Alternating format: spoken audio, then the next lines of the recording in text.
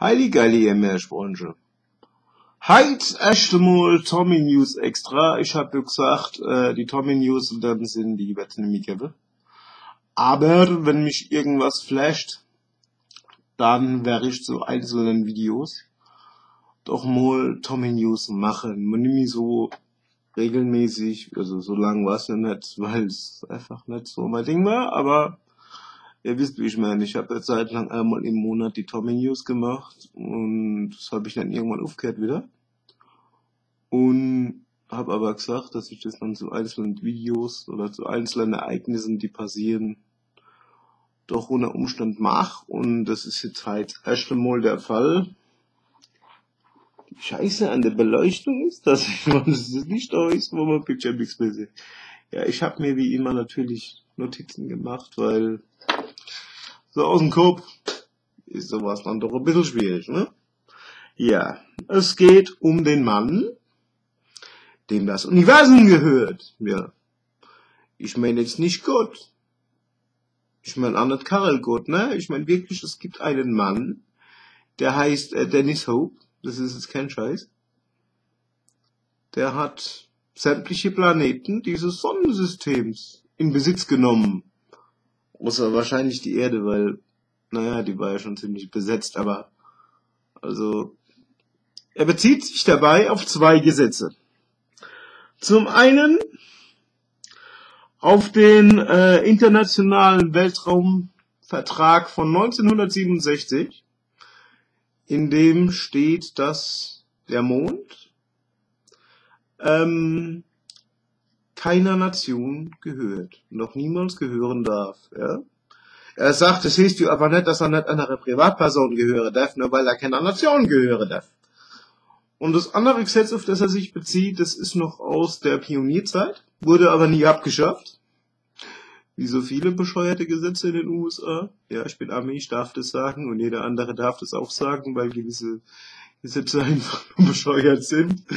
Aber jedenfalls, ähm, laut diesem Gesetz kann man Anspruch erheben auf unbesetztes Gebiet und wenn innerhalb von sieben Jahren keiner Einspruch dagegen äh, einwendet, oder wie das heißt, ähm, dann gehört es einem. Ja. Und so hat er sowohl den Mond als auch sämtliche anderen Planeten, wie gesagt, ich schätze mal die Erde nicht, aber ansonsten alle anderen, für sich beansprucht. Er hat das Ganze sogar an einige Regierungen und so geschickt, aber es hat keiner ernst genommen, es hat keiner reagiert. Ja, und jetzt gehört ihm das Ganze, das ist kein Witz. Das Video dazu verlinke ich euch in der Videobeschreibung. Das mit diesem Dennis Hope kommt allerdings ziemlich am Ende des Videos. Ich sag's euch nur gleich. Ja?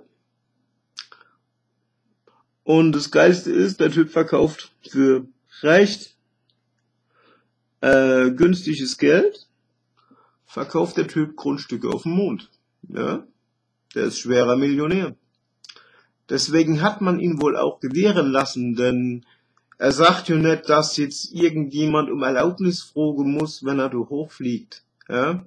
Vor allem, wenn die Orfange da oben irgendwann Gold und so Zeug, also sonder, äh, andere Bodenjets auch, was weiß ich, Erdöl wahrscheinlich nicht, vielleicht eher Mondöl.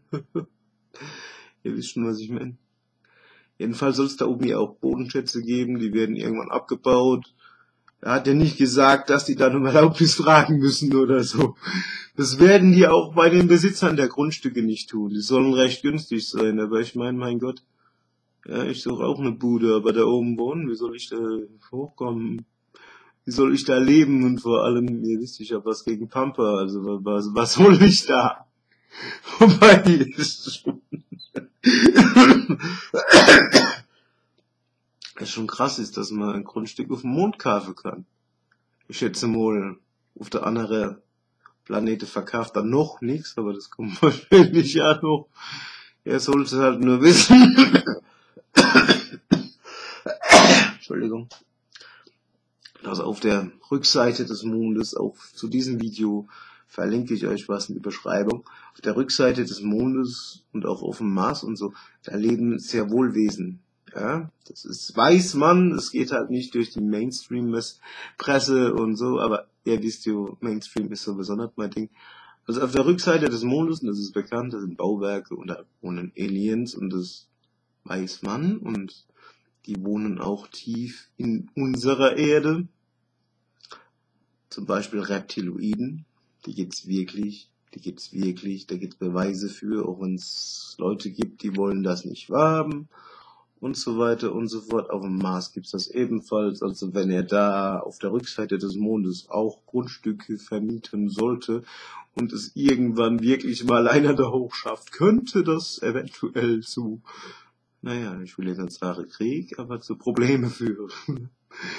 ja, wie gesagt, die Leute von euch, die mir jetzt nicht glauben, guckt euch das Video an, das ich dazu verlinke. Ähm, zuerst geht's in dem Video allerdings um Geheimlogen und auch darum drüber, dass der schwarze Papst, der ganz normal im Vatikan lebt, man weiß auch wer das ist, ähm, der mächtigste Mann dieser Erde ist. Ja, der mächtigste Mensch dieser Erde. Und ich sage immer, dem Christentum stimmt was nicht. Aber naja, vielleicht, wenn er das Video auch guckt, dann äh, versteht er mich vielleicht ein bisschen mehr. Anyway, es geht jetzt wirklich nicht ums Christentum.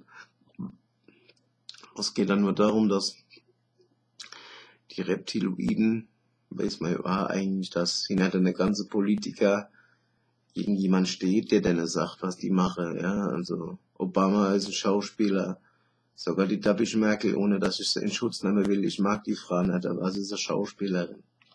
Ja, es ist wirklich eine Schauspielerin, die gesagt bekommt, was sie zu sagen hat. Und es wird vermutet, beziehungsweise mehr wie vermutet, das könnt ihr dann dem Video alles entnehmen, dass äh, die Reptiloiden, also die stehen auf jeden Fall dahinter. Man weiß nicht, ob hinter den Reptiloiden noch jemand steht. Äh, viele sagen jetzt, Tommy, jetzt bin ich aber ganz durchgeknallt. Ich meine, ja, wenn ihr das Glaube wollt, was man euch glauben lässt, dann macht es. Ich mach's halt nicht und ich glaub aber auch nicht jeden Scheiß. Ich denk drüber nach. Ich denk wirklich über solche Sachen nach. Und äh, wenn es für mich Sinn ergibt und es ergibt einfach verdammt viel Sinn, wirklich verdammt viel Sinn, dann ja. Wie gesagt, denkt der Mut drüber nach. Ja? Es wird übrigens auch vermutet, dass äh, die ganzen Planeten innen hohl sind. Was auch Sinn macht, weil es heißt ja immer Erdkruste, Erdkern, bla, was weiß ich, Erdmantel, nichts da. Ja, das macht ja Sinn. Die Planeten drehen sich ja alle, die rotieren ja. Ja, und was ist denn bei der Wäschmaschine? Zum Beispiel im Schleudergang. Wo ist denn die ganz Wäsche? Die ist alles außer am Rand. Im Innere ist es hohl. Ja? Weiterhin wird vermutet, ähm, was ich jetzt nicht so glaube, wie gesagt, ich schreibe einer jeden Scheiß. Aber es wird auch, oder es gibt die Theorie, dass das in Wirklichkeit Eier sind. Und da innen drin, also die doch nicht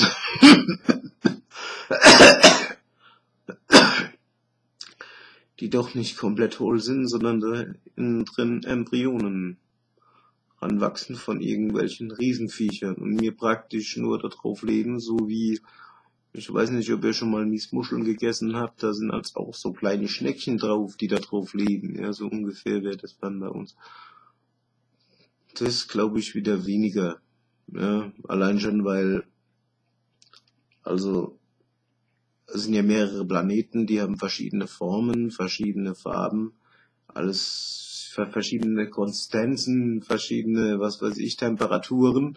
Da müsste ja dann äh, jedes Vieh genau ein Ei hin, wenn jetzt das alles irgendwie ein bisschen gleicher wäre. Ja, dann wird es für mich Sinn machen, aber da das so alles viel zu verschieden ist, glaube ich das weniger. Ja, kann es aber auch nicht ausschließen. Ich habe da noch nicht runtergegraben. Und ich werde da auch nicht runtergraben. Ja? Wie gesagt, sowohl über die Reptiloiden als auch über den Typ, der, der dem das Universum gehört, verlinke ich euch in die Videobeschreibung. Ich empfehle euch, das anzusehen. Ich empfehle es euch ernsthaft. Ist natürlich eure Entscheidung, aber es ist wirklich hochinteressant, auch wenn das zwei Vorträge sind, die anfangs eventuell etwas trocken erscheinen, also normal mache ich mir sowas auch zum Einschlafen an. Aber das habe ich mir dann doch komplett noch einmal in, äh, im Wachzustand gegeben, weil es einfach, finde ich zumindest, dafür viel zu interessant ist, um die Hälfte davon zu verschlafen. Ja? Wie gesagt, das ist aber eure Entscheidung. Die Links dazu sind in der Videobeschreibung und jo. Mehr weiß ich dazu jetzt nicht mehr zu sagen. Das Video ist möglicherweise ein bisschen kurz, aber man muss es ja auch nicht unnötig in die Länge ziehen. Weil mehr gibt's dazu nicht zu sagen. Bildet euch eure Meinung. Ja? Und ich sage jetzt nochmal Tschüss und bis dann.